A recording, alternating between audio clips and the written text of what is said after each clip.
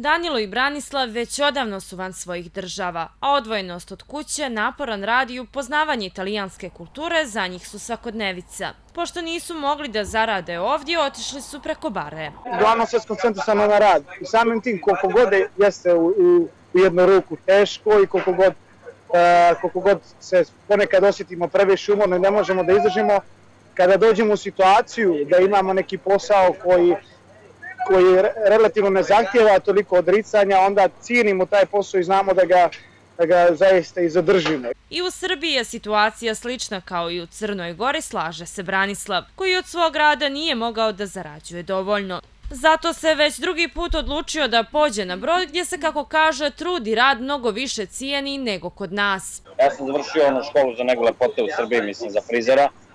Ovaj, I na nekoj poziciji sam na kojoj ne znam da li bi mogao da budeš u Srbiji, jer ovde cene trud, rad i kako završavaš posao.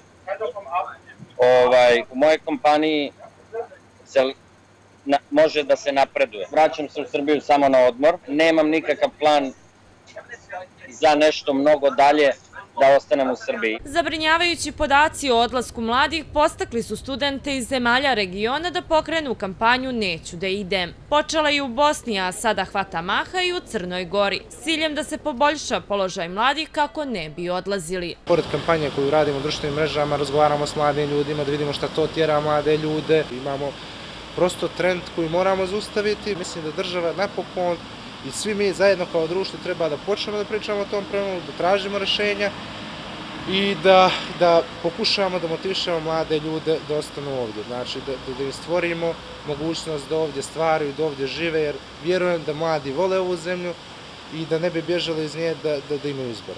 Da položaj mladih nije na zavidnom nivou smatraju i u sindikatima, gdje potenciraju njihovu visoku nezaposlenost i slabe šanse za kupovinu stana. Da su nam potrebne korijenite promjene i u ekonomskoj, i u socijalnoj, i kulturnoj, i obrazovnoj politici. Dakle, vlada mora da preduzme pod hitnost određene korake kako bi zaustavila zapravo sve one razloge zbog kojih mladi, ali i svi građani Crne Gore koji to žele napuštaju Crnu Goru. Naši sagovornici saglasni su da kao društvo moramo da kreiramo ambijent koji će omogućiti mladim ljudima da ostanu u državi i svoju budućnost planiraju ovdje, a ne da kupuju karte u jednom smjeru.